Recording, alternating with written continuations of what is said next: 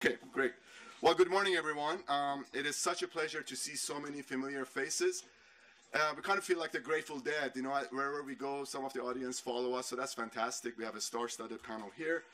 Welcome to this timely session on FinTech, a game changer for financial inclusion and gender equality, especially coming after yesterday's G20 supported Global Partnership for Financial Inclusion conference here in Washington, D.C. My name is Babak Abbaszadeh. I'm the CEO of Toronto Center and your MC. Toronto Center was established in 1998 to promote sound financial governance, financial stability, and financial inclusion. We do this by building the capacity of financial sector supervisors and regulators in emerging market countries and developing countries. So I want to also at this point acknowledge a couple of our board members who are here. So John Palmer, our chair. John, could you please raise your hand? And Andrea Corcoran, um, uh, former chair of our Securities Advisory Board. Ceyla Pazarbasioglu from the World Bank. Also, Stefan Ingves is represented here by Cecilia and uh, Aditya Narain of IMF by Martin. Am I, I hope I'm not missing any of our board members, but I just wanted to make sure that you recognize them. Without their dedication, this place could not function. Toronto Center could not do what it does. The challenge before us is more than 1 billion women in developing countries don't have access to formal financial services. Toronto Center believes that inclusive financial systems are a powerful instrument for women's empowerment and poverty reduction. Women's ability to save, borrow, control their own money, and to insure themselves and their assets reduces poverty and promotes better health and nutrition outcomes for their families. It also enables women to contribute to increase national economic activity and growth. FinTech innovations such as digital finance show great promise in expanding financial services to the previously excluded, especially to poor and rural women. These developments are consistent with and help underpin the UN 2030 Sustainable Development Goals, especially SDG 5 on empowerment of women and girls, Addis Ababa Action Agenda, as well as Canada's new feminist international assistance policy.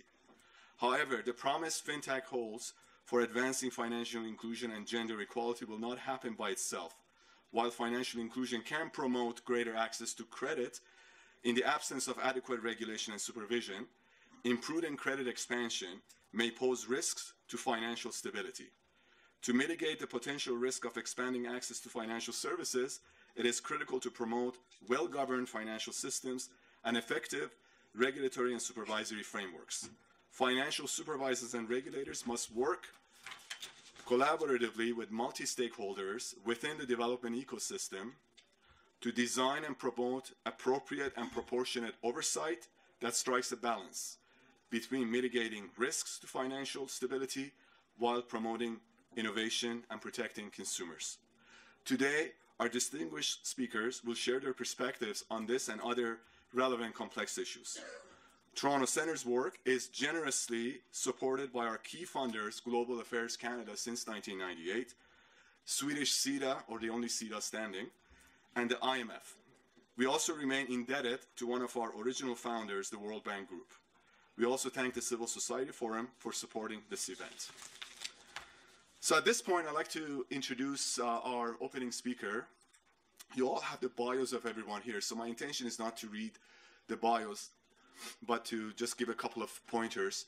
Uh, Minister Bibeau was elected to Parliament in October uh, 2015, and soon after that was appointed by uh, Prime Minister Justin Trudeau. You might have heard of him, and and uh, she is in charge for of the portfolio of international development and la francophonie. And uh, she fulfills, fulfills her duties uh, with impeccable work ethics.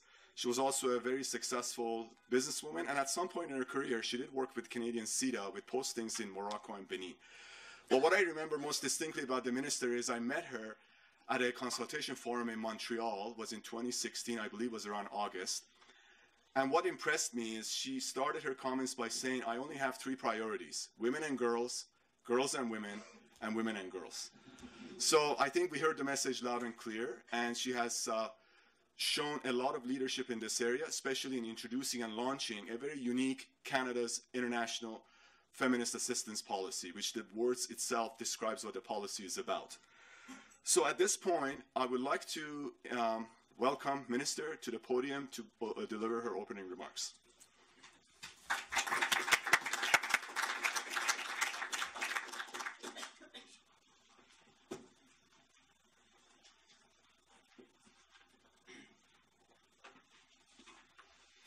Good morning, everyone. Thank you, Babak. it's, it's really a pleasure for me to be with you today and to have the, the honor to give the opening remarks to this uh, conference. Um, today's discussion is a timely one and resonates well with Canada's new Feminist International Assistance Policy that I'm so proud of. Specifically, whether FinTech can help empower women lead to gender equality, and then contribute to end poverty around the world. There's no doubt about the benefits for everyone, in particular, women, of having access to reliable, safe, and cost effective financial services. And that fintech is having a transformative effect. But it won't be a game changer if we don't also work in parallel to ensure that women have an, have an identity, that they are financially literate, and that they have control over their bodies. Let me start with identity. As we speak, 1.1 billion women remain locked out of the formal financial system because of the lack of documentation and other forms of identification to open a single savings account, let alone access, cre- uh, access credit, financial, or other services to grow their businesses.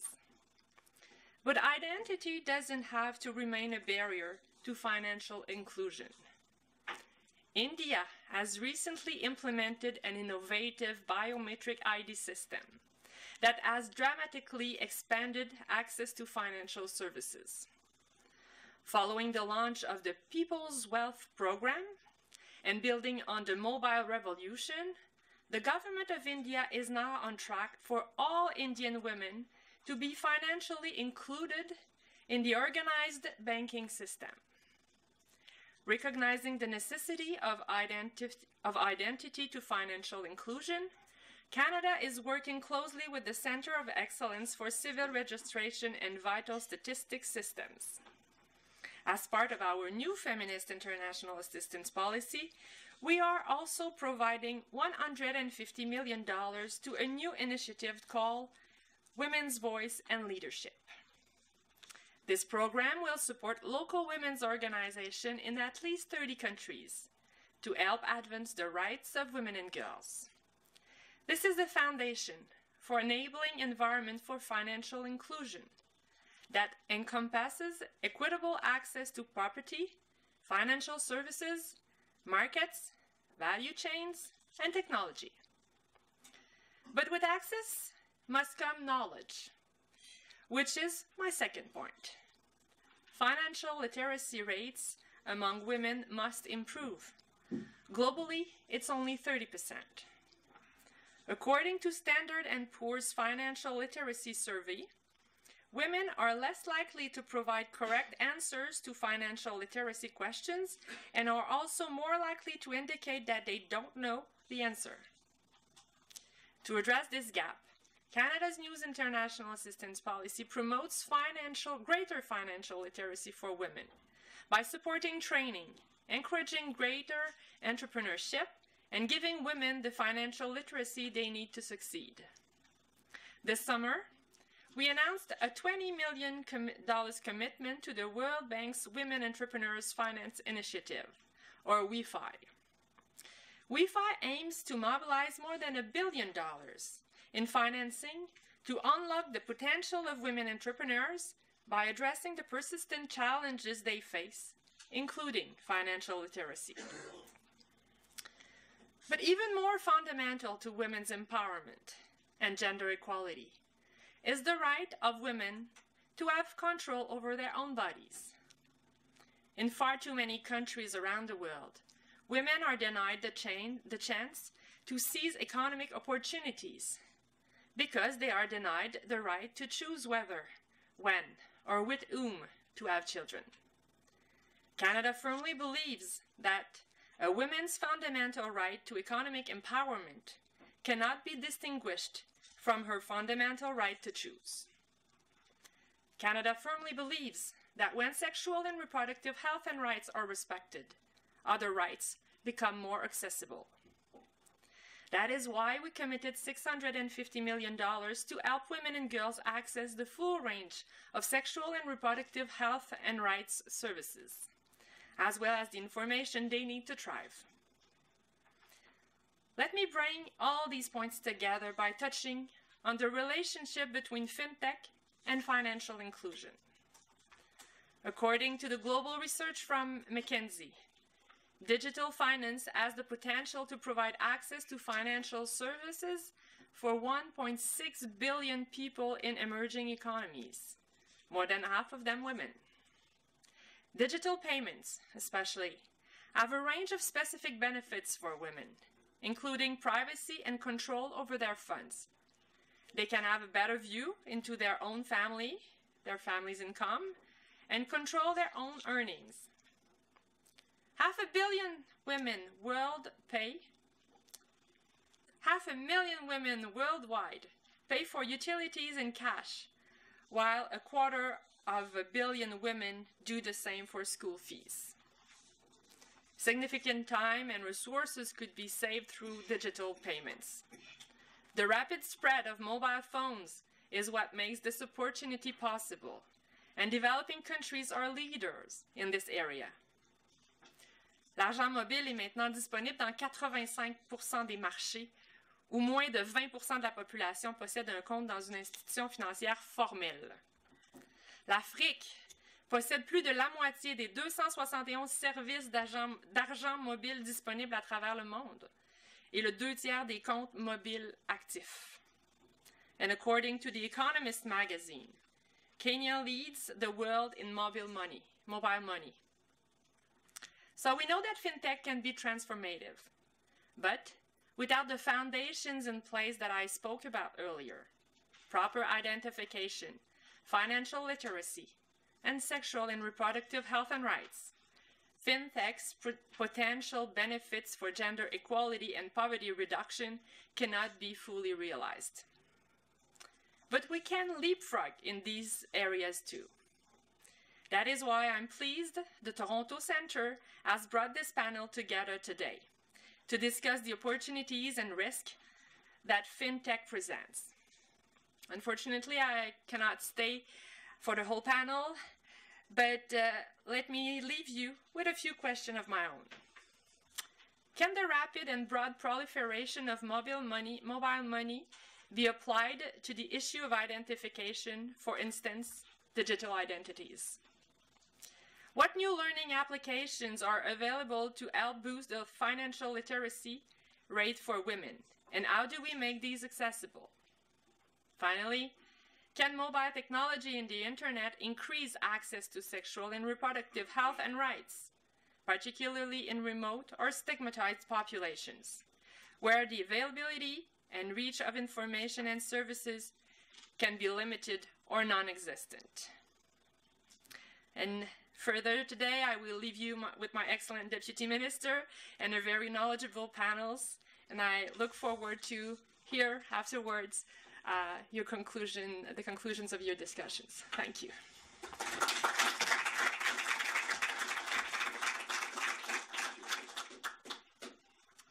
Excellent. Thank you very much for those insightful comments, uh, Madam Minister, and some of your questions I'm sure will be addressed by the panel. Um, it is now my pleasure to introduce a special speaker from the OECD. We're very um, happy that he's able to join us. Mr. Masamichi Kono uh, is the Deputy uh, Secretary General of the OECD, assumed this position in October, sorry, August of 2017. His, and listen to this part, he's responsible for strategic policy issues ranging from the environment, financial and enterprise affairs, anti-corruption, green growth, all the way to taxation. I'm just wondering what is really left. Uh, um, previously, Mr. Kono was the Vice Minister for International Affairs at the Japanese Financial Services Agency. He's had a long and distinguished career in financial supervision and regulation of financial services, both in Japan and in the international arena. including being the chair of the IOSCO, the International Standard Setter Body for Capital Markets Regulators, and also postings at the WTO. He was also chairman um, of the IR, IFRS Foundation Monitoring Board. And if that's not enough, he was also a scholar at uh, Hiroshima University and Columbia University. Please uh, join me in welcoming Mr. Kono.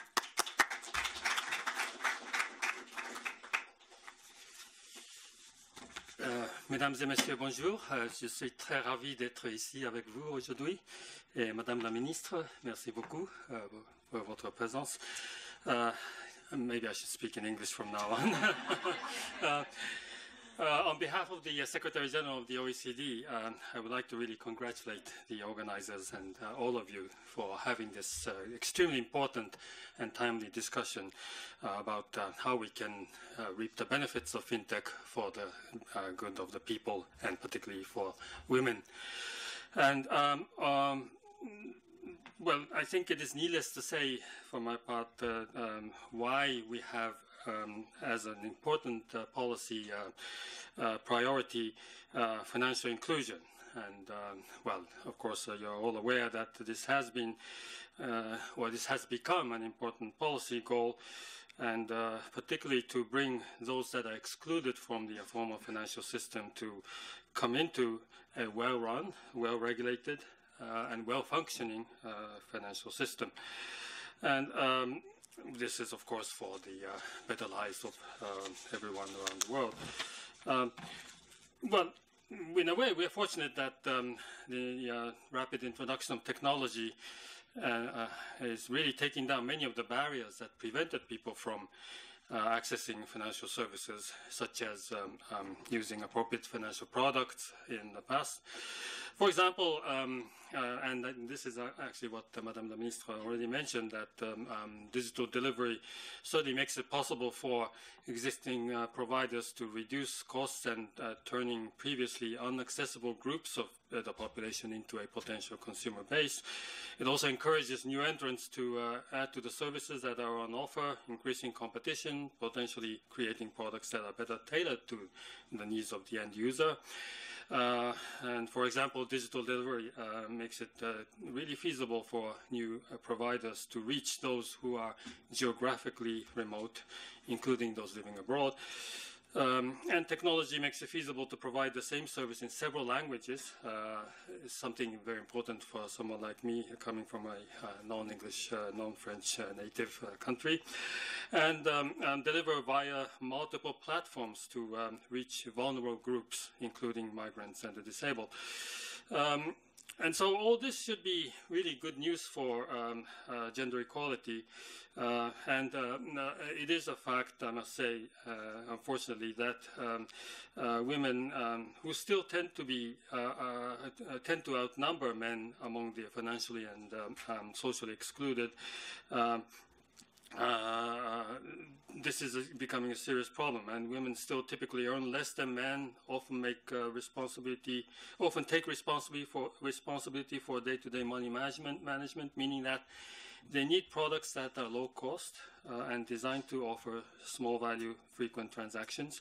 In many cultures, women also stay closer to home than men, so uh, they are less likely or able to visit a, uh, a village or town with a bank branch or uh, uh, have access to other financial services. So um, mobile banking, in a way, opens up this uh, new world of opportunities to such women, prov providing they can access a mobile phone but um, the story doesn't stop here, and uh, we cannot just um, uh, uh rejoice at uh, this uh, new technology improving the the supply side of finance. that is, the benefits of being able to reap the benefits of such um, new technologies, fintech, are not at all for granted, and. Again, um, many surveys, including those undertaken by the OECD, have shown that women have um, uh, lower levels of financial knowledge than men on average. They also often appear to be less confident about their knowledge, uh, And uh, uh, without the relevant knowledge and skills, it is all too likely that they will make costly mistakes, such as underestimating the cost of credit or ignoring the impact of inflation when making savings decisions. So clearly, um, uh, supply side um, uh, advances um, must be uh, complemented by or should go in hand in hand with support for uh, such vulnerable, vulnerable consumers on the demand side. As recognized at the global level, including by G20 leaders, this includes appropriate regulation and consumer protection, complemented by access to uh, high quality financial information, education, and guidance. Without this support, access to digital financial products may actually increase the vulnerability of uh, women. They may be insufficiently protected and could even fall foul to fraud and mis-selling in the new and unfamiliar digital environment. A new report developed by the OECD and presented to the G20 finance ministers and central bank governors in Washington, D.C. earlier this year highlights in more detail the demand side challenges created by digital financial products. Uh, this report is called Ensuring Financial Education and Financial Consumer Protection for All in the Digital Age, including a wealth of information about the kinds of competencies that might be useful when using financial technology. It stresses the need to be able to identify and use trustworthy products and to conversely to uh, recognize and avoid products that may cause harm. It also notes that ideally financial education to help people to navigate digital financial products should start early, uh, targeting girls and boys in childhood. Efforts must also include awareness campaigns and initiatives that reach all segments of the population, including um, uh, those women who have been hitherto excluded. Smart use of technology can support this process by facilitating digital uh, delivery of financial information and training that meets the needs of uh, consumers. To sum up, uh, fintech looks set to remove many of the barriers that prevented women from becoming financial consumers and active entrepreneurs, whilst um, also offering the possibility to deliver financial education messages in a flexible manner. Uh, however, this is a vital role for there is a vital role for governments, financial regulators, and supervisors in promoting the development and safe use of beneficial products to ensure the economic em empowerment of women. So the OECD will continue to uh, support those efforts through the uh, G20 OECD Task Force on Financial Consumer Protection, uh, a network uh, in the name of FinCoNet, and the OECD International Network on Financial Education, as well as participation in global fora such as uh, the Financial Stability Board, uh, etc. So thank you very much, and we look forward to a good discussion. Thank you. That was excellent. Thank you very much. Uh, at this point um, in the program, I'd like to just let me tell you a little bit about how the session will flow, and then I will introduce the moderator.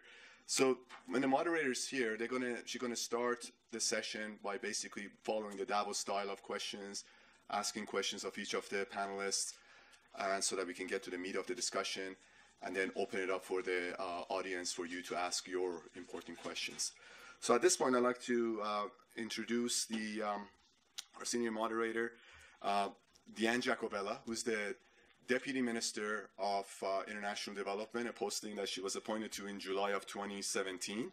She served in the Canadian Public Service in very senior capacities since 1998 at Health Canada, the Privy Council Office, and which is the, really the Ministry of the Prime Minister and Human Resources Development Canada. She joined uh, the Canadian CIDA in 2016, uh, responsible for uh, the senior position for Eastern and, and um, Southern Africa, and uh, and also she was as associate deputy minister for foreign affairs. She's played a key role in restructuring the departments of foreign affairs, international trade, and international development over the course of the last few years. And she's really a recognized leader in the field of international development and foreign affairs. Since 2009, in one form or another, Diane has played a critical role in the success of Canada's overseas development assistance programs, including an important oversight role for the Toronto Centre. So, with that introduction, I'd like to introduce, uh, um, ask Diane to please come forward and big hand. Okay, thank you very much, uh, Babak. Uh, la ministre uh, qui a dû nous quitter, and Mr. Kono for the uh, opening remarks. Um, I have to say it is very uh, great to see a pack room standing room. There is a chair there if somebody wants to sit. Now, please, please occupy chairs. Yeah. Um, to talk about financial inclusion and gender equality. Uh, th- this is really great. This is not something that we see often, I have to say, at the bank meetings. And I think the Toronto Centre, you know, when we talk about the importance of uh, inclusion of women, uh, has done a great job on the panel of making sure they included a lot of uh, women. So, uh, but Martin, we're really here, glad that you're here with us. Otherwise, we wouldn't have some some gender diversity.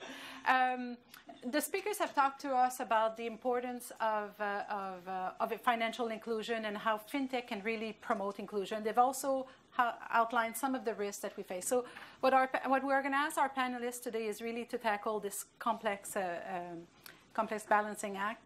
Um, I, I, will ask them questions, but I would ask all panel members, please don't hesitate if you want to add something to your colleagues. Let's try to make this as informal and as much of a conversation. You know, I do have a long list of questions I can ask you, but I think it would be much more interesting for, for the room if, uh, if you can build on each other and you, you're allowed to disagree with each other, please.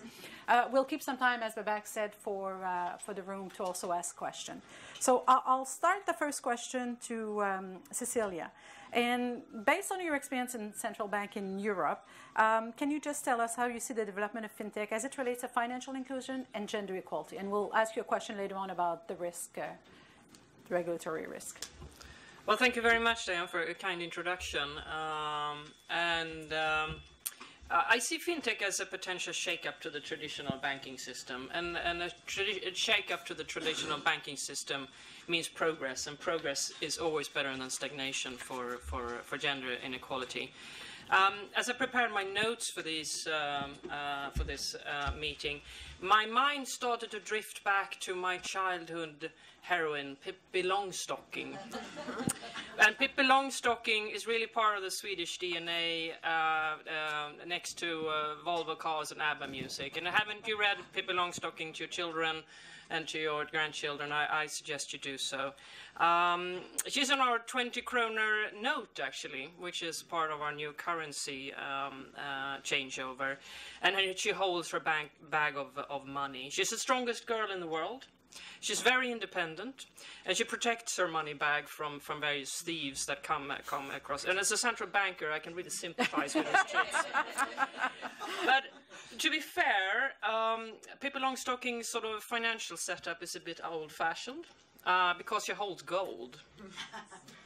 Um, but I'm pretty sure that if her uh, mother and the author Astrid Lindgren, who's also on our 20 krona note, had created Pippi Longstocking today, I can see Pippi Longstocking sitting with her mobile phone, smartphone, latest version, having access to a well diversified portfolio across the world, she would have had a number of uh, apps uh, doing business to business uh, transactions, uh, person to business transactions.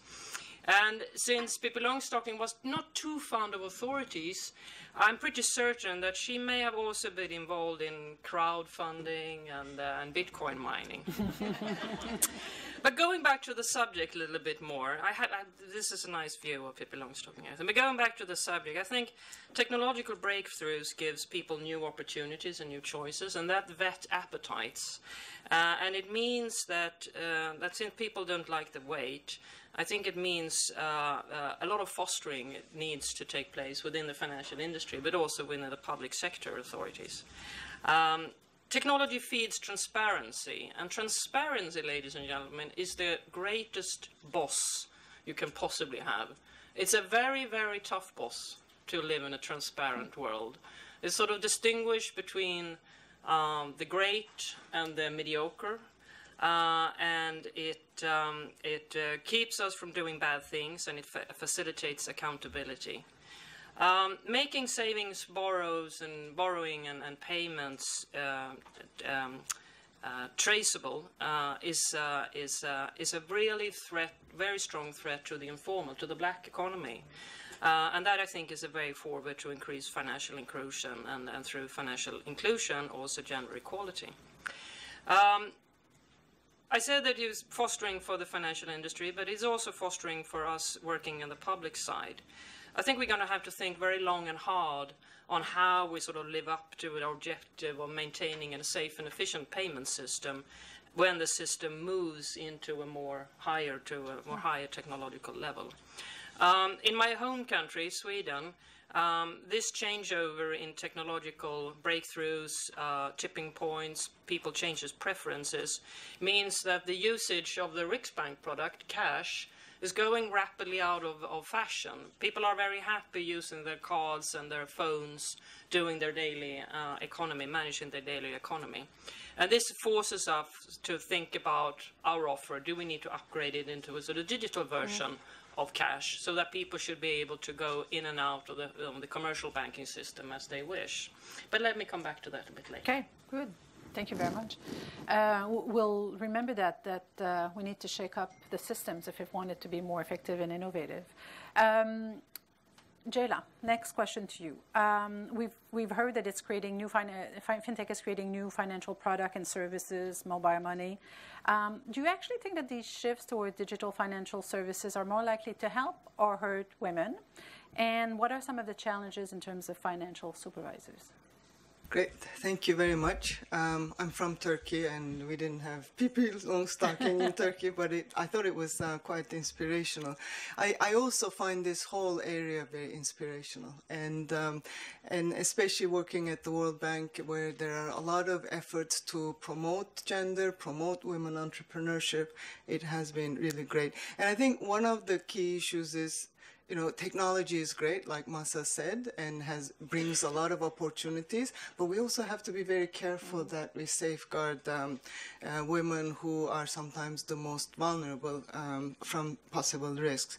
So I think in terms of the global sp spread of mobile phones, and I'm sure we will hear from uh, Patrick, uh, the governor, uh, on the, the great um, achievements made by uh, Kenya, M-Pesa, and several other countries where you do see that women have um, have been empowered through the use of financial technology, and that, that's actually quite uh, in, impressive, and it's also encouraging that we could use the new digital financial services to be able to uh, deal with some of the key change, challenges that women have to um, deal with, right? These are the barriers to financial inclusion more generally, but they hit women much more. And these include issues such as the, the uh, minister mentioned ID and um, access to technology. Women have, uh, girls and women have much less access to technology than men. And there are a lot of um, uh, countries with legislation that uh, prohibit uh, women either due to lack of ID. There are some countries which require the husband's signature in order for women to have any access to collateral and so on. So there are um, many issues that actually, even with technology, will not allow women to have um, the access. And, and it's uh, unfortunate because we have data and information, for example, from Kenya that show that, um, you know, the access to mobile money services increased consumption levels for 200,000 uh, households and lifted them out of poverty, and female households benefited much more than uh, than men. And usually the the mothers uh, are very important in terms of the education of the children, health, and so on and so forth. Similarly, we have some figures, uh, some studies done in um, uh, female garment workers in Bangladesh showing that electronic wage, wage payments into their mobile money accounts really empowered them because they were able to keep their money, uh, keep their wage payments rather than having to turn them over to, I'm told, the mother-in-law. So it makes them much more resilient to financial shocks and, and also allow them to, to take better care of their families. So what are we doing at the World Bank um, in order to reap some of these opportunities but avoid the, the, the risks?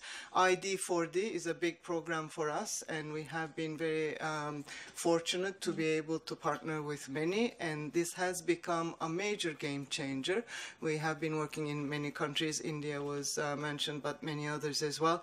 Movable collateral registries, which is really critical for women to have access to any kind of entrepreneurship. This is a, a key area of work that um, my group works on. Legislative changes, as I mentioned, access to technology, access to financial capability. Again, the minister asked the question, can we use technology to increase mm-hmm. financial capability? And there's a lot of work in um, linking cash trans transfers, um, social transfers to women, linking that with also um, mobile phone and financial capabilities. So really a lot of, um, uh, we have a blockchain lab at the bank, which is again to, um, to see if distributed ledger technology can be used for remittance payments, which are mm. proportionately more going to women. So very exciting areas of work, some of which will succeed, some of which unfortunately may fail, and we'll learn from it and go on. So I do think as members of the development community, we need to monitor what's going on to make sure that um, there is no uh, repeat of the micro, you know, micro loan um, problems, that there is no extra indebtedness, that we don't, mm-hmm. um, we empower, but we don't um, create the, the environment that women either borrow or get themselves into products that they don't fully understand. So really make sure that we um, increase availability of sex disaggregated data to, to monitor and safeguard from any risks. So that's all for now. I'm sure we can discuss some. Thank you very much. And, and I think your, uh, your comments about the importance of monitoring and sex segregated data to make sure that whatever we put in place actually has the effect intended. Um, Martin, uh, you're with the IMF. We've talked a lot about the opportunities uh, up to now. Um, challenges. Can you tell us a little bit about the challenges and how we can mitigate those challenges? Well, thank you, and thanks for reminding me that I'm actually the, the only man on this panel. Uh, we did a study with uh, Ratna Sahay and colleagues. Uh, we looked at uh, bank mem- uh, male, uh, male, women memberships on, on bank boards and supervisor agencies, and the ratio on the boards was about 20%. So here the, the switch was flipped. but I, we, I, we I wanted assume, you to know how we feel normally. And, I, I, assume I was asked to participate more because I'm with the IMF and, and can maybe bring some, some of the macro stability perspective. And indeed, that, that's why we went from fiscal issues to financial sector issues, and then we, we realized that you know to, to properly look at those issues, you need to bring in, uh, in inclusiveness. Um, mm-hmm. So so we we again with, with, with, colleagues we did a study where we look at the macro effects of of, uh, of, financial inclusion, and we found that there's a there's a sizable potential that the difference between low and high levels of inclusion make a difference of about two, three percentage points of in growth rates of GDP. Mm. So that's that's massive. That's massive. Um, but I think what's interesting about this panel is that you, you, you're asking about the intersection of financial inclusion, fintech, and gender. And I think those all, all those three topics, uh, when we look at them, we, we, the question for us to ask is, are they macro critical? And I think for each one of them, we, we, are, we, we have concluded that there, there is there is some potential and we need to zoom in a bit uh, closer. Mm. Um, but I think in your Venn diagram, when you look at the intersection of the three, I think that's the interesting question, and I'll get to uh, there, there's some, so some there's some lack of data, I mean, and, and lack of analysis. Uh, but I'm happy to say we actually this is like two two weeks ago we, we came up with a new running of the financial access survey. It's on the website for everybody to look at, and um, it, you know it's it's 10 years project, uh, but now we actually have for the first time gender disaggregated data for, for a decent number of countries. So we went from 30 last year now to 90 countries being covered.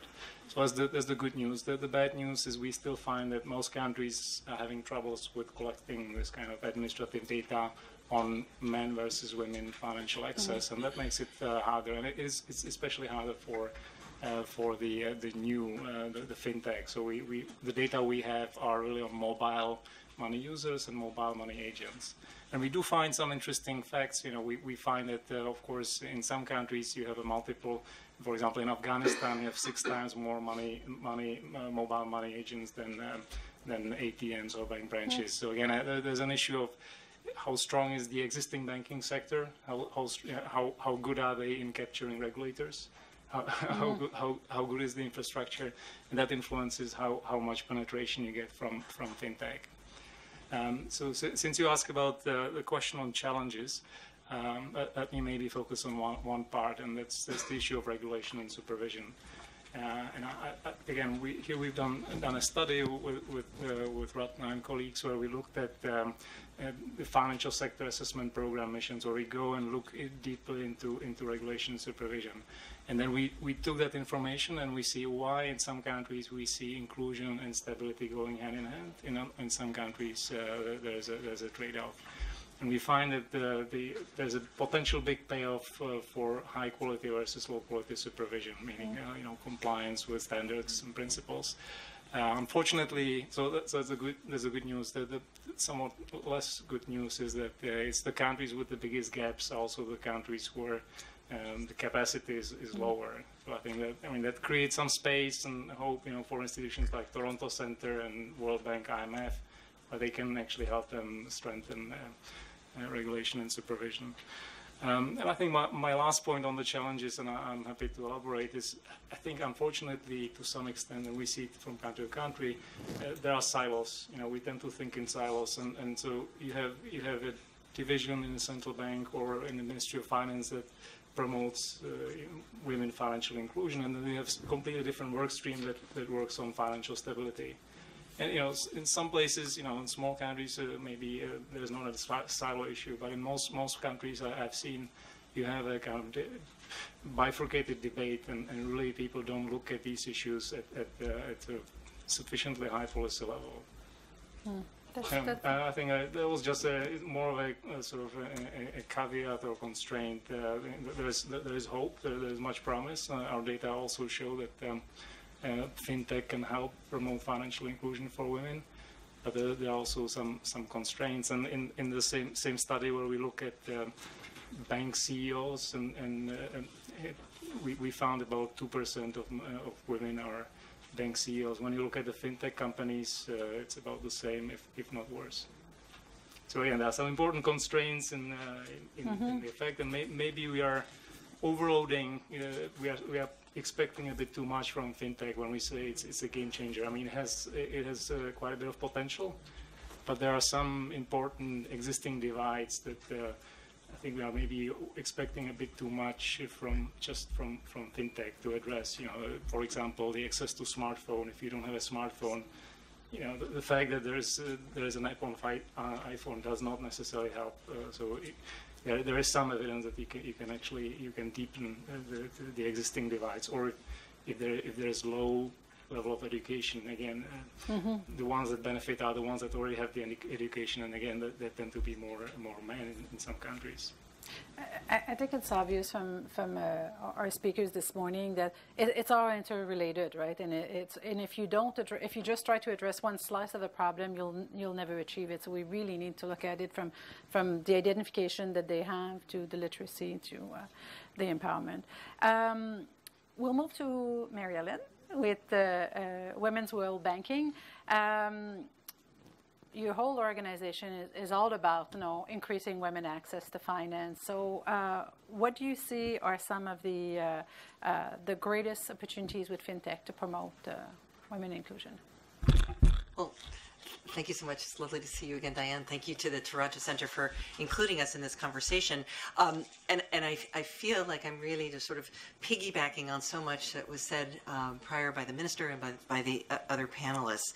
The very, very exciting news for the work that we do at Women's World Banking is seeing all these new players that have now come into the, the market. I, I think there was an allusion to, to microfinance and maybe some of the things that didn't work as well there to, to now be thinking so much more broadly about access to finance for, for women beyond the the, um, the original microfinance, um, and as many of the other panelists have, and speakers have mentioned, that that technology can very effectively get at some of the biggest obstacles that women have faced to financial inclusion. And we've had a lot of talk about the identification, and I'm not going to re- reiterate those. I do think uh, maybe a, a, little bit of a double click on the fact that we see great potential um, in the use of technology, digital technology, the ability, the ability to track behavior, to track movements, um, to help women.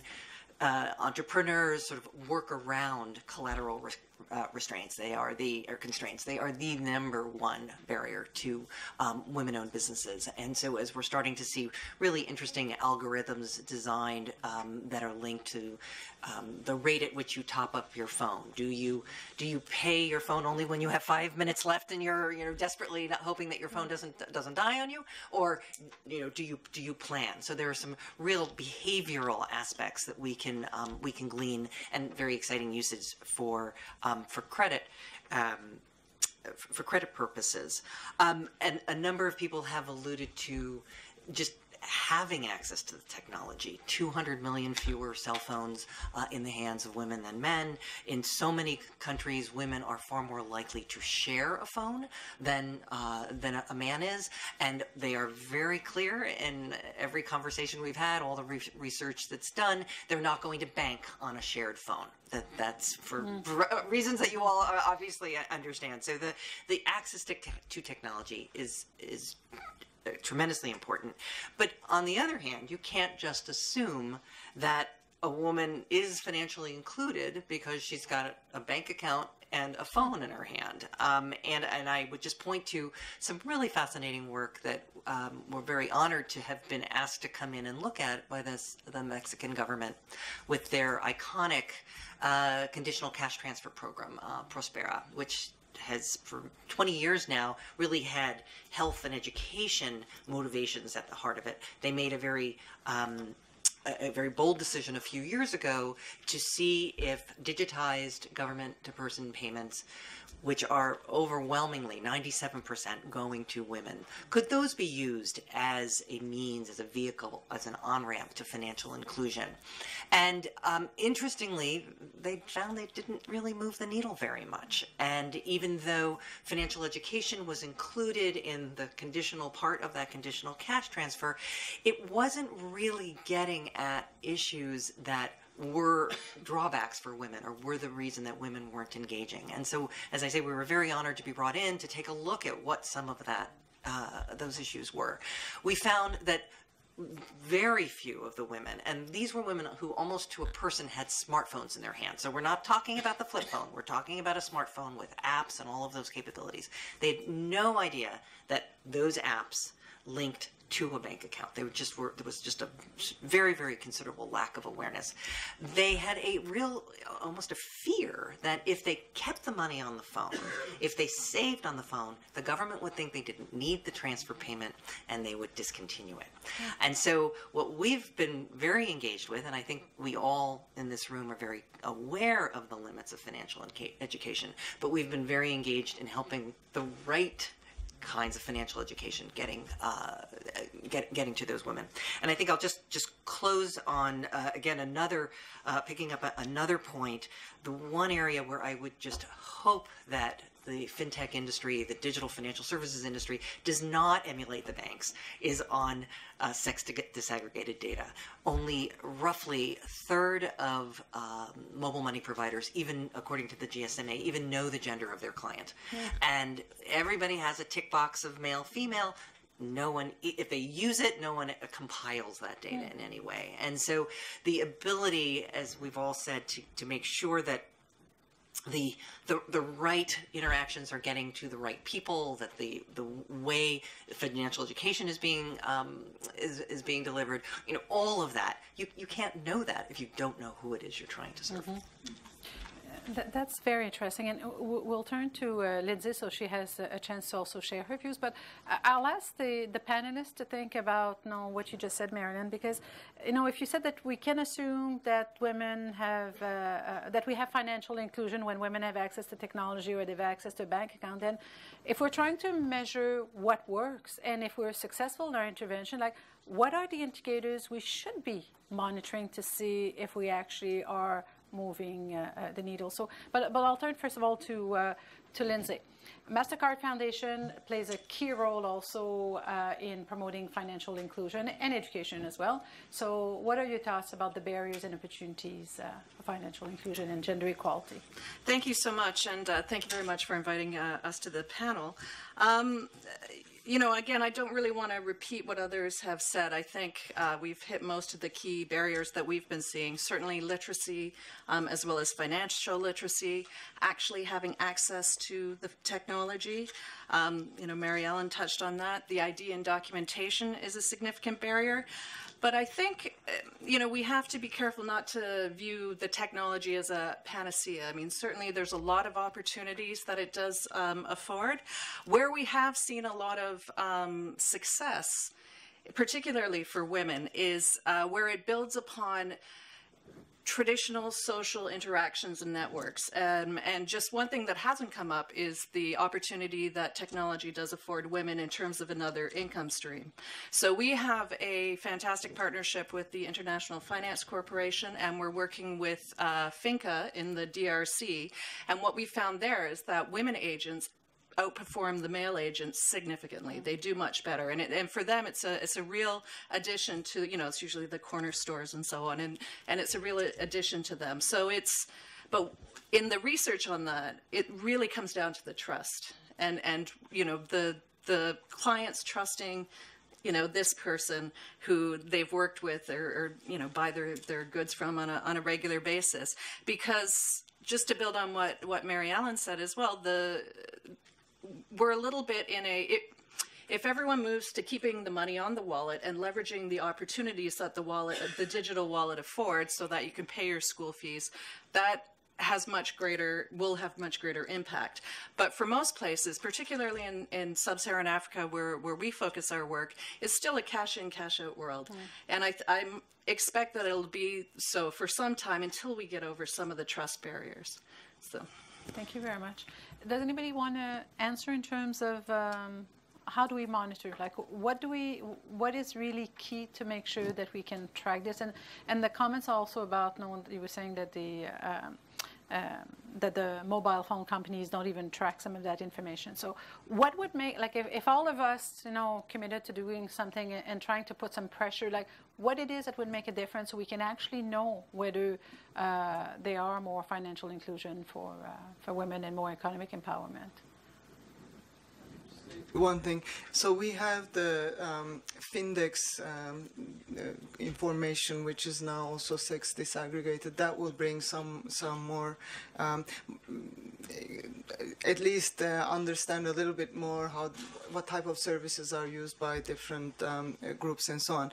But I think what I find fascinating is the interaction between what you mentioned, behavioral side of things, and how to how to make sure that we can pilot certain um, initiatives to make sure that it actually goes to women. So there is one project that we have been working together with our IFC colleagues as well, and bKash is in Bangladesh where um, they do get the um, education, the, the, women get education benefits for their children through the digital means. Mm. And it's now we are trying to link it to providing healthcare services so they can understand and invest some of that in healthcare for themselves because most of them are not really insured.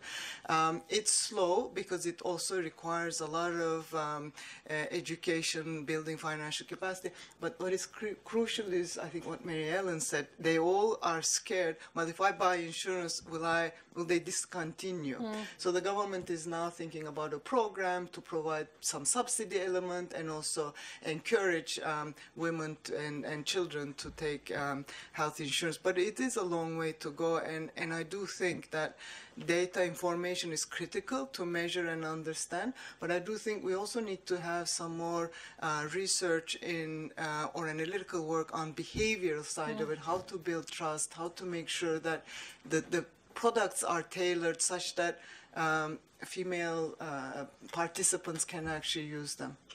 Thank you very much. Anybody else want to add something? Martin? So on the on the data side, um, I admit I'm a real data geek, uh, and I, I think this is so. It, took about 10 years to build up the financial access survey. I think it's a great source of information from the administrative side, but uh, it's always a bit frustrating because so many countries have these national financial inclusion strategies and they have goals on including women, but the way they measure the progress, it's really through surveys. It's, you know, it's, it's usually the Findex or some other survey with a small sample of people. So it, it's, it's a big missed opportunity, and oftentimes we see kind of pointing of fingers that the institutions would say, well, the central bank is not telling us how to report the data, and the central bank would say, well, you know, we don't want to overload them with data requests. And I think so. So again, I think this is a this is a, I see it as a joint effort because it's you know, the database sits in the IMF, but in the end, it depends on what the uh, what the authorities are responding. So I, I think it's uh, it's our joint responsibility, and uh, you know, again, it's a it's a part of, of our job that you know when we go to countries, we, we try to, to impress on them the importance. Uh, I'm happy to say again the coverage has gone up uh, from from 30 to 90 countries, but it's still only 25% of those are actually able to provide nationwide this gender disability data. So we know that for those countries, about 40% of accounts are women. It's much harder if you if you go into mobile. Yeah. Uh, i- i- and and forget if, if you think about fintech more broadly. I think that so that, that was my second point. On fintech more broadly, I think we have again this issue of for a long time uh, things are too small to care. So you know we, we don't really know, and then they become too big. To, Too big to, so, and, and, the, and, and the period between them, it's not that, that long. Uh, so, so and I I think that's uh, we. I'm, I'm somewhat worried that we don't have a good grasp on, on sort of the, and good data on, on the other part of fintech. You know, beyond just you know mobile access. You know, so when we talk into talk about uh, you know the distributed ledger technologies and, and, and virtual currencies, you know, it's, it's an inc- increasingly topic of interest for countries like Sweden and, and, and the Netherlands and, and, and Singapore and others. But we, we don't, the data we have is largely anecdotal. So uh, I think we, we should really start thinking about how we improve our, our data gathering. Let me stop Okay. here on data. Thank you. Uh, Cecilia, maybe I'll, I'll go back to you in terms of the role of uh, central bank and regulators. Yes, thank you. Um, so I, I said uh, before that given that technology opens up, uh, I, I, I definitely agree that it's not a solution to everything, but, but it opens up uh, uh, a number of choices uh, and that whets the appetite. So we have to think long and hard on how we sort of make it a good trans- transition from a more sort of analog world, more cash-based world to, to a more digital one. Um, the Riksbank turns uh, 350 years next year, and uh, we have a sort of informal uh, motto in the uh, in the bank that you have to you have to you have to make transitions from time to time to stick around for that long. Um, and if we start with payments, and then we're going to say a little bit about that, it's, it's a tremendous breakthrough to have access to safe and efficient payment methods. And, and as a from a gender perspective, um, the physical uh, safety is a, is a key issue for, for women, and not having to walk around with your salary um, in cash with the risk of getting robbed uh, is a great achievement if you can have it. You have your money in a medium of your choice. Um, so uh, Sweden is going cashless, uh, not rapidly, but, but we're going in that direction. Um, and uh, it's not a conscious decision. This is happening, um, but but kind of looking back, um, we can see a number of factors explaining why why this is happening. So. If you want to get electronic and embrace fintech, um, I can give you a little bit of a roadmap here. Um, so first of all, um, this is very, I mean, you already know this, but high level of PC and smartphone usage is being provided or being supported by if everyone has reliable access to get through the net, to get, get into the internet through, through, through 3Gs or 4G levels. Uh, another important ingredient is this that banks um, need to cooperate on infrastructure. So going back through Swedish banking history is kind of interesting. They have taken um, the, the big banks have taken uh, steps to, to to join forces on infrastructure uh, many times, and the latest initiative uh, was the real-time uh, uh, person-to-person payment app called Swish. Uh, so in your mobile phone, and half of the Swedes are now connected to to the Swish system. They can do person-to-person transactions 24/7 across banks. Um, but it doesn't work uh, uh, unless the central bank facility is there to, to do the settlement between the banks 24/7, which takes me to the third point that as a public sector you have to be able to to walk the talk when it comes to facilitate innovation. Not only talk about it, it's nice to have innovation, but actually, but actually um, prepared to, to think about how, how to facilitate this. It's also about uh, facilitating standards because standards of different kind is a, a recipe against uh, fragmentation. And be mindful of high entry barriers and high network effects uh, when you design systems. And, and, and my last message is that carrots are always better than sticks. Um, and um, instead of forcing people out of, of, of particular behaviors, it's always much better to, to offer them choices. Electronic, attractive electronic choices will move people's preferences. Um, uh, in, in, in our situation, uh, the people's preferences away from cash has been because there are other very competitive solutions. Uh, and then you get the whole fantastic world of transparency, the hard boss I was talking about, uh, and, and easy, easy measures to, or easy, easy it make, becomes easier to, to add on uh, um, the various services that um, the fintech or the old banks can, can provide to society. Thank you very much. That's uh, very helpful. Um, you know, and when you say that we need to walk the talk, re financial innovation, maybe I'll turn to Lindsay, who uh, uh, actually MasterCard Foundation has been doing a lot of innovation in this field. So maybe you can share with us uh, a few ideas to walk the talk. Certainly, thank you. Um, you know, I think for us uh, as an organization that focuses on sub-Saharan Africa, one of the biggest uh, areas that we're really uh, watching is the smartphone penetration. And you know, so much of the the fintech and uh, revolution to date has really been built on uh, feature phones, um, but really the the ability to do things through smartphones and to interact both from a financial literacy point of view, um, from knowing your customers, being able to build out that, that digital footprint. I think that's, um, that's really a big game changer. The other thing that we're seeing, and we haven't really touched on it too much here, is really thinking about who are the key players in this, aside, of course, from the, the public sector and the regulators where we see a lot of fintech innovations is in partnerships between um, specialized fintech organizations, but they really need to work closely with both MNOs as well as fi- traditional financial service providers. Um, building on what Mary Ellen said, that, that digital history, that digital footprint, and the ability to leverage that to do things like intermediate loans, credit scoring, um, certainly as well the pay-as-you-go technology for solar power, but also we're seeing that for a lot of uh, water services and other things, you know, um, digital finance plus. Um, but one other thing that I, I wanted to touch on here, and you know, reflective of our, our, our panel, is the importance of female leadership in the fintech space. Um, you know, we did a survey in Ghana, and we found that only um, 20% of the new fintech organizations are led by women. And, uh, you know, I think one could say that having female leadership here at the IMF has really helped to elevate the whole discussion of, of gender and gender equality. And I think the same probably holds, well, I know the same holds true for fintech and particularly um, fintech in, uh, in sub-Saharan Africa.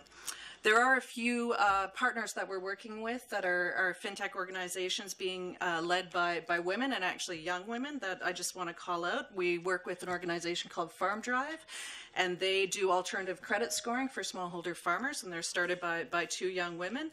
Um, as well, First Access, which I think many of you may be familiar with, they really build algorithms that take that digital footprint and help uh, more traditional financial service providers uh, intermediate loans, also started by a woman.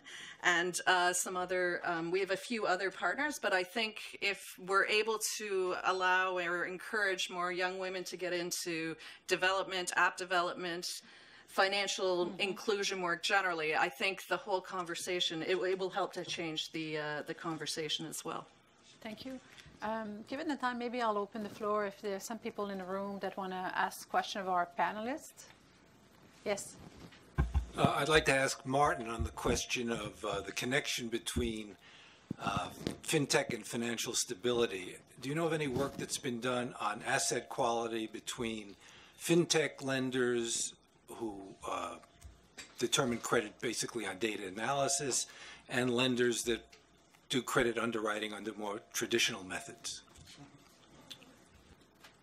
Yeah, I don't know if uh, I, I, I would invite others to, to help with maybe more micro evidence. Uh, when we look at the macro data, I mean, we find that overall there's a there's a trade-off between uh, financial inclusion and financial stability. Then, but, but then there are other factors that uh, that sort of help to mitigate the trade-off, and you can actually see that inclusion and stability can go hand in hand. Um, yeah, there's there's sort of micro micro evidence on on default rates. Again, um, there's no study recently from the Federal Reserve here in the U.S. on on penetration of, of fintechs versus bank branches. So they found that the fin fintech tends to go into areas where banks have been closing branches. So you have areas where, where bank branches went down by 10% between 2007 2016. They, they, they, saw a 10 times increase. And I think it's too early to say, uh, you know, I mean, in, I think as a, as a broad brush, I think it's, you see bigger default rates, but also it's because you tend to go after borrowers that have been uh, have been excluded by banks. So I think it's you know it's you know the causality is not is not an easy one to do. Again, uh, when we're looking at our cross cross country you know panel data, we find that in general there is a trade-off between inclusion and stability. But there are there are things that, that, that tend to mitigate. One is if in general if there is greater level of secondary education, you know, higher education in the country, you're more likely to see inclusion and stability hand in hand.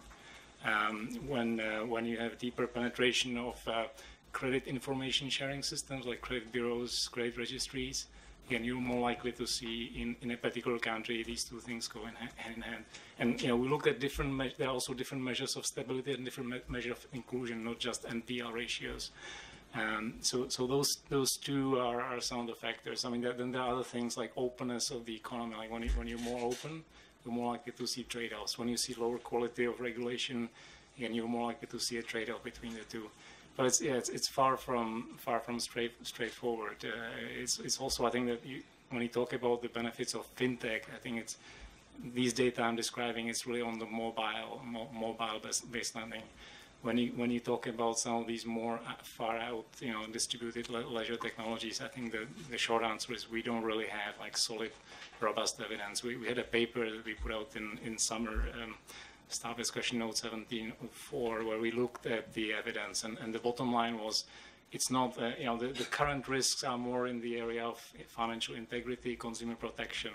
You know, there, there, are some sort of broader issues that relate to, you know, potentially financial stability, monetary policy conduct, but it's, it's not something that, you know, we would have evidence right now that, you know, fintech has become um, sort of a, a, present threat in, in financial, like looking across our membership.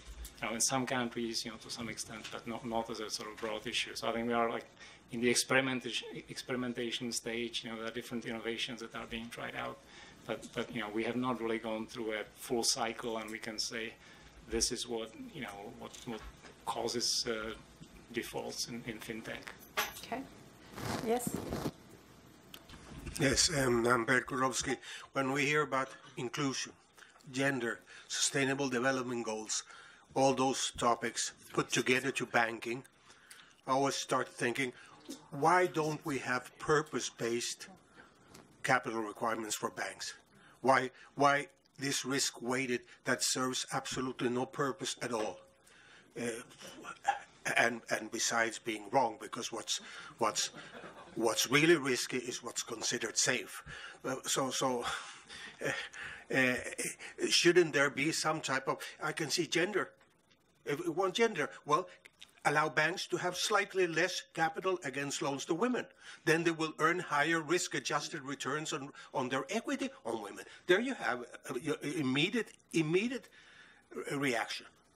Well, the banks are abandoning the small businesses, all that area. Why? Because the capital requirements are higher to when they lend to the risky. So why don't you think of a purpose-based capital requirements for banks and you can move it in the area you want to move? Thank you. Maybe I can take. Uh, can we take just a few more questions just to, to make sure? Then the, we'll ask the panel, give the panel some time if there's other people that want to ask a question. Yes, over there. Hi, um, uh, just a little provoking, maybe. I'm sorry. Um, uh, I thought, uh, looking at the title, that we were going to have a sort of like a measure of what we wanted to understand by gender equality. So I I understood everything about how we could uh, have uh, do in order to for women to access more you know financial um, instruments and uh, have them you know uh, be able to make the same transactions as men do. But then wh- what do you mean actually by gender equality? Are they going to access the same type of jobs? Are they going to access what? Uh, are we going to improve uh, income inequality or what what's the ultimate uh, measure of gender equality that you're looking at. Okay. Thank and you. Maybe a last question. Yeah. Thank you. My name is Nana Fajinu. Um, I'm from the West Africa Civil Society Institute. My question is about um, the unbanked women. So um, we are not we are not even looking at the banks. Do you have any success stories? For example, using village and savings loans, where you've been able to see fintech actually enable women's empowerment and gender equality. It would be interesting to hear if there are any success stories. Thanks. So maybe I'll turn to panelists. Um, I, I see Lindsay at the end. That go ahead. You'll Sure. have a chance to answer. I'll, ask, I'll, I'll answer the last one. And um, just to say, we, we are starting to see more and more innovations between fintech players and the more traditional savings and, and loans groups. And I actually have a, a project in uh, Tanzania and Ghana where we're trying to facilitate linkages between the, the VSLAs and more traditional financial services. And the only way to really do that on a you know more cost-effective basis is through through mobile technology. And there have been a few uh, innovations whereby instead of the in a traditional VSLA, there's three different keys for the lockbox. That has been digitized. I think digitized. I think uh, it was Musoni in Kenya did that as well. So we're starting to see the interplay. And again, it goes back to the VSLAs provide that traditional, safe, trusted, secure. But there are a lot of challenges with it. It's it's you know that we've had uh, cash box that boxes that get stolen. Um, the loan size isn't very big. It's all kind of inward, so it's not really doing any type of major financial intermediation. So I think there's a lot of opportunity, though, to leverage technology to, to build upon the the good benefits of the, the VSLAs and then help link them to the wider economy. So um, I, I think yeah, that's a great question. In terms of the um, unbanked, um, we have this UFA 2020 goal to you know address this issue of two billion unbanked all over the world. And in this context, I think um, there has been a lot of progress. It's also together with the private sector, of course, with the Mastercard Foundation and others. Um, and there has been progress. But I think at the end of the day, what is really required is what was said uh, by several is the cultural and other issues which are more the deterrents rather than you know sending money through the the prosperas or Bolsa Familia or whatever these other uh, systems providing access to finance but rather having financial services rather than just a dormant account or a dormant payment. So to to me that's the next step. Everyone has a quote unquote will have an account probably or some sort of mobile payment, but whether we get real financial access and inclusion is another question. On just quickly on two other questions on gender equality, it's a very good question, and I think um, here we have the We-Fi. It was mentioned by the minister as well. This is a great facility to bring um, female entrepreneurship and uh, an opportunity to thrive. You know, it's not, of course, it's not going to be enough, but we need more of these programs because we will only get equality if we get women working. Seriously, I mean, otherwise, uh, there is this uh, really great study published by the bank about, uh, I think it's called Children Brides or something, which shows the economic impact of um, 13, 14 year olds who get married and then the implications of that. On uh, purpose-based, I really cringed when you said it. I do hope we don't go there. Priority lending to whoever, be it farmers or women or whoever, is not a good idea.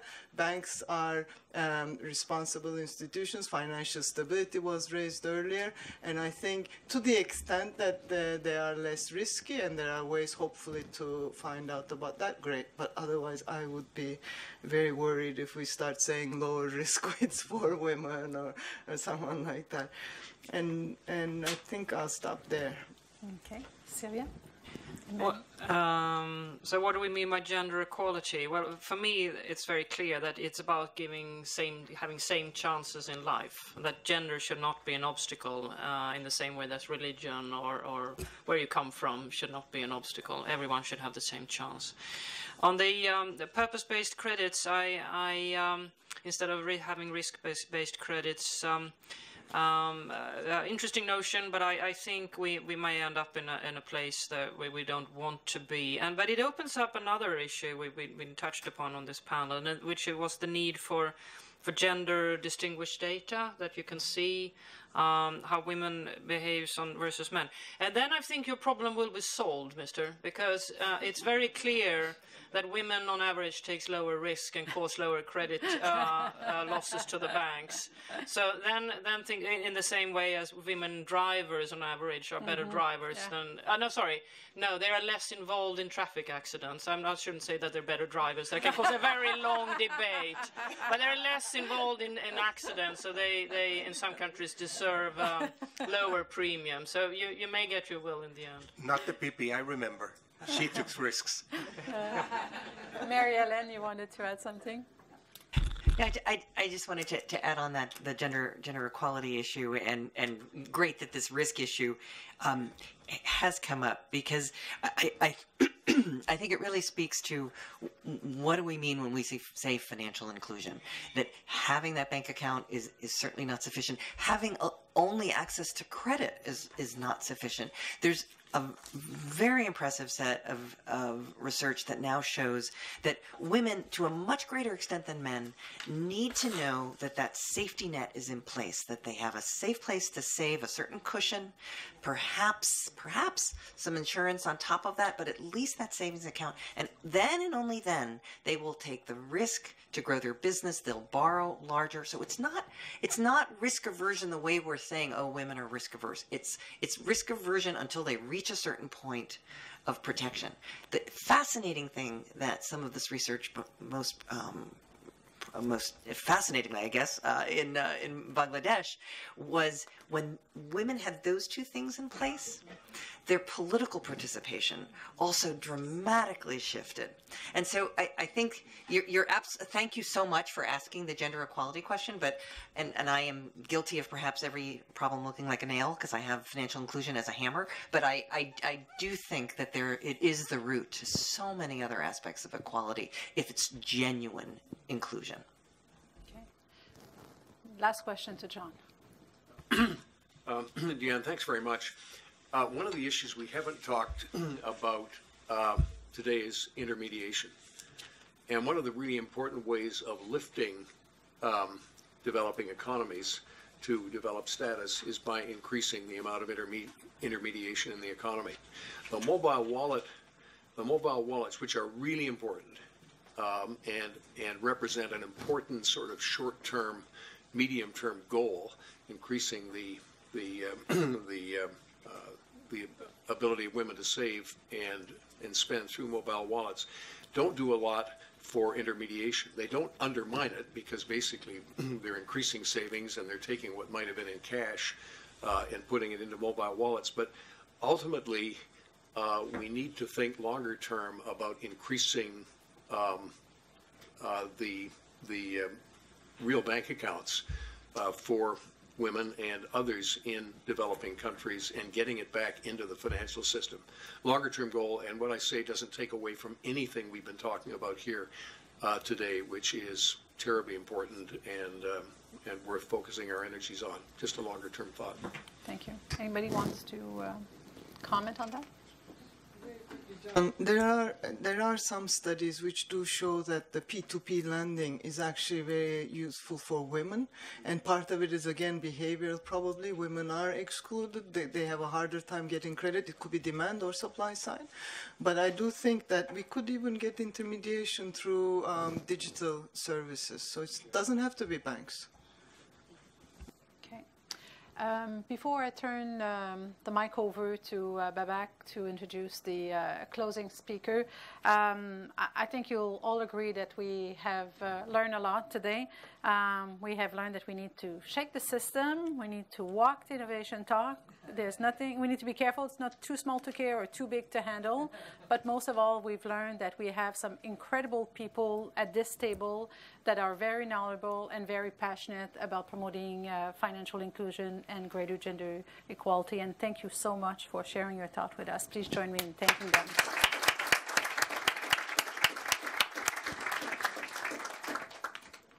And a big hand for uh, Diane for fabulous moderating. You know, as we were organizing this event, uh, John remembers uh, I got chastised by a, uh, a, good friend of Toronto Centre, former uh, governor of a central bank in, in Asia for why are we holding these events here in Washington? Why are you not bringing them to South Asia or elsewhere that you know we really need them? And uh, she did, didn't necessarily buy my answer that you know we're bringing the whole we're coming here and the whole world is under one roof. So seeing the caliber of this panel, I can see that. So you know we may have to take you on a traveling tour. So I just want to make sure that you don't go scot free.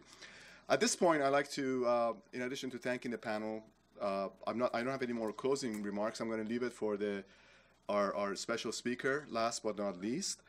Um, it's my pleasure to introduce uh, my friend, the estimable governor of the Central Bank of Kenya, Dr. Patrick Njoroge, who was appointed governor on June 19, 2015.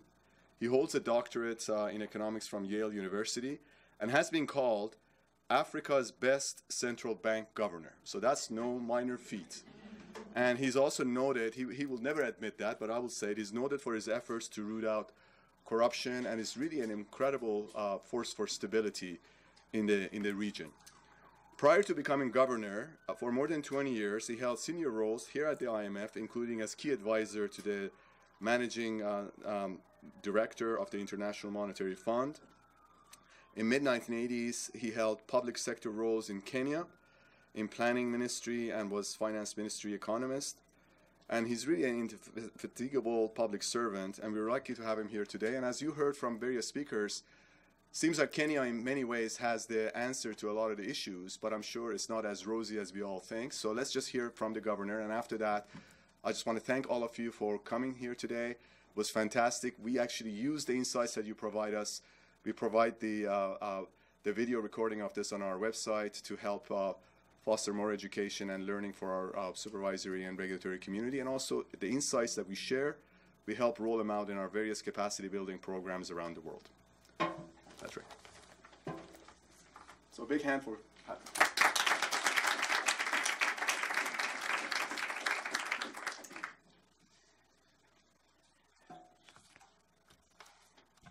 Thank you, Babak, for the introduction.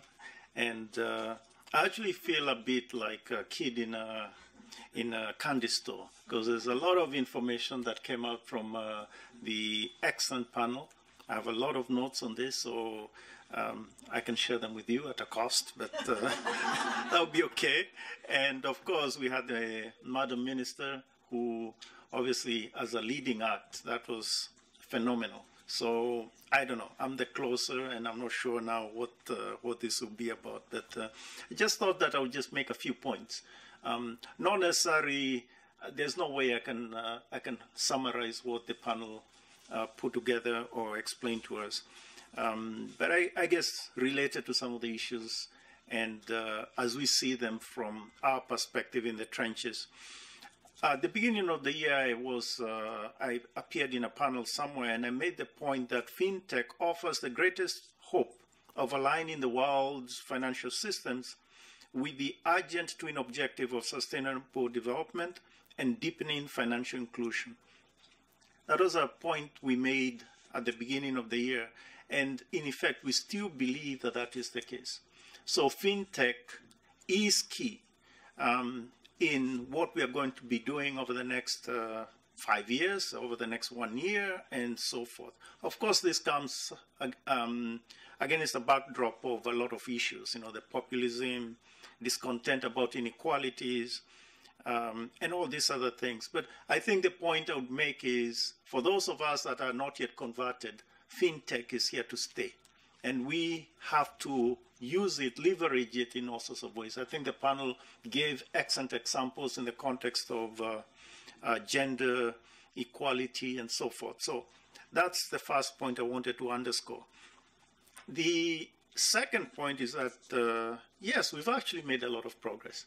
And uh, Ceyla already mentioned some things about the, uh, the benefits from uh, um, the various money transfer platforms that we have. And it's not just benefits in terms of uh, transfer, it's also economic benefit in terms of uh, the population uh, growth uh, and so forth, people being lifted out of poverty. That is important to acknowledge and accept that uh, some work has been done. Um, I think uh, the best, let's say, explainer of this is actually the MD uh, of the IMF, who just a couple of days ago told this story from Kenya. And obviously, she tells it better than I can. She's a lawyer, I'm an economist. Um, but uh, maybe it goes back to a question about gender equality over there. So actually, we were looking at data. We we're looking at uh, various data, and we discovered that in one of our platforms, uh, about a third of the loans, this is a mobile money transfer uh, platform, about a third of the loans, microloans, are given or they are accessed at 3 o'clock in the morning. So this is a big uh, AML CFT issue, right? Instantly, right? What's going on here? And then we began to dig a little and we discovered actually that's not the case. So looked around and the story is simple. Apparently, around that time, you have uh, a lot of the people that are accessing money, this money or this platform, are ladies who are street sellers, basically, people in the street corners, and they're selling uh, vegetables or whatever else it is. So at 3 o'clock in the morning, they're not insomniac, but they get up, um, they actually access the loan, get a loan, micro loan. Uh, they will then buy vegetables at 3 o'clock in the morning. At that point, the market is thriving. That's when you have the best vegetables, whatever they are. They'll buy that from their home. They haven't, they haven't even left their rooms. Uh, they'll then um, send a message, SMS, to their favorite uh, uh, gentleman who moves the cart and with the instructions that the gentleman should deliver the vegetables at the particular location. She'll then wake the kids, feed the kids, send them to school, and then at about six o'clock, when uh, the governor of the central bank is getting up, she is now on her way to the intersection. She'll then finish the transaction, I mean, uh, sell in the course of the day, and in the evening will actually repay the money. So you ask yourself, what, why is she doing all this? Why is she repaying the money and so forth? Actually, what she's also doing is she's building a, a credit, a track record of a credit, things that the panel talked about. So this is amazing, the transformation that such a simple thing can provide to women. Secondly, uh, also to the family. You can imagine if she had to be doing, I mean, she had to go to the to the market at that time in the morning to do all these transactions. You know, she would never see her kids and so forth. So I'm just saying that these stories are there. And uh, already by looking at the data, you can see that there's some phenomenal uh, progress. But we need to understand the data better. So if there's anything we need to do more data is one of them, understanding the data. Um, there are also a few other points I'd want to make. There's, a, there's about gender equality. You can talk of it in the context of uh, ownership of mobile phones. This is ownership, not uh, obviously ownership is one point. We need to go to the other issue of usage and services, which the panel talked about. But the, in uh, emerging markets, it's something like 14%. That's the gender gap, um, 14%. And uh, countries like Mexico, it's 6%. Jordan is 21%. Niger, it's 41%. Kenya is 7%. So we are more or less okay. I mean, okay. I mean, we are not at 20 or whatever, but uh, we are much more uh, closer to the, uh, uh yeah, I mean, closer to an, a norm which, or a target which you would obviously say zero. You know, you have 50-50 kind of balance. But I think the point here, which is a simple point, is what will happen if we had cheap phones?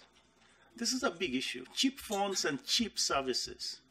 That to me is, a fund, is the number one constraint in sort of expanding services and fintech down the road. Now I know a lot of us talk of our iPhones, right? I'm sorry to break this to you. Um, I really prefer the Nokia 3310.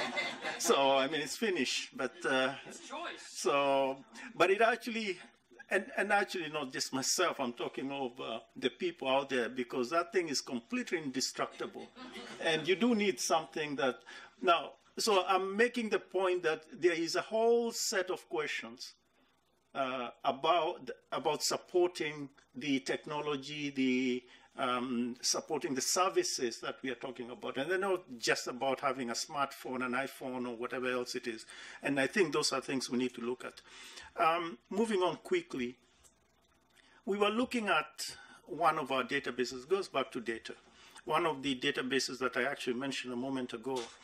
And uh, we now, again, with a pinch of salt here because the numbers are not perfect as we were told, it, the customers in, on this large database or this large banking and payments system that we have, uh, it has 41% women and 59% uh, men. However, it's interesting that of the women users, 99% of them are active users. Let's begin there. 99% of them are active users as opposed to 77% for men.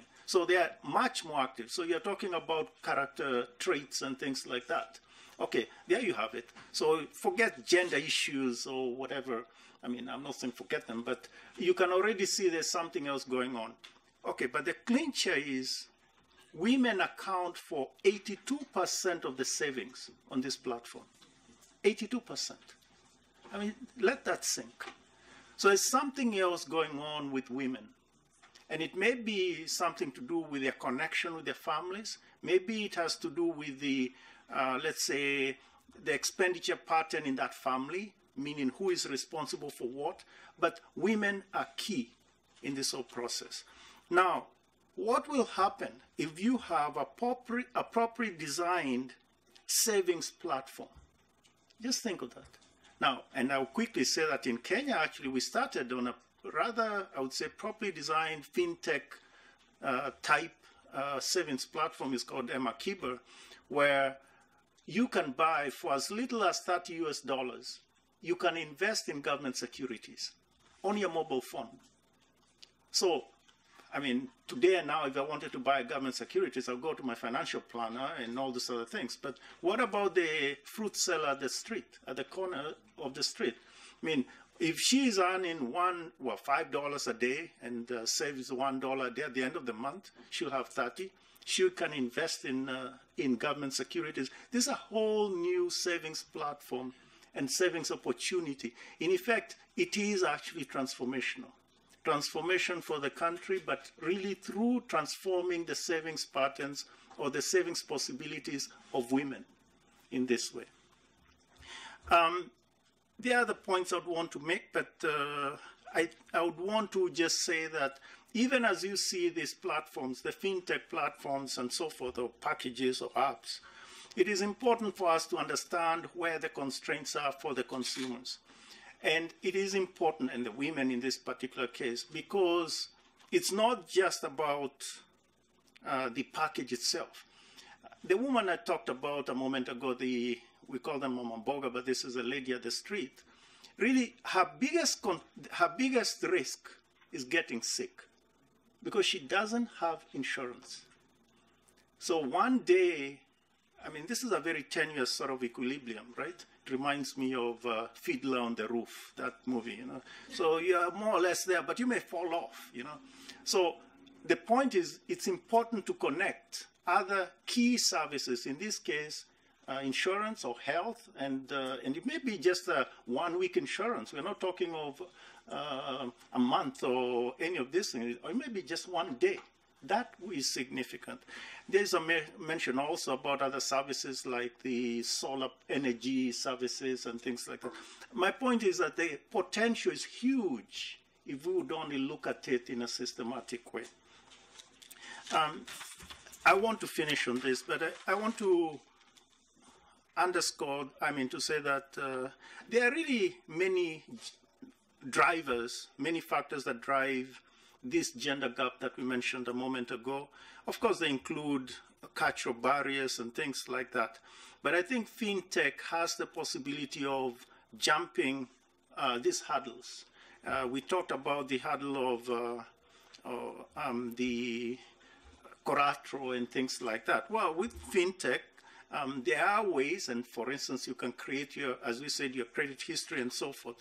But I, I just want to say that uh, we should, I definitely leave this room and I go back to Kenya with the idea that we, we haven't done enough.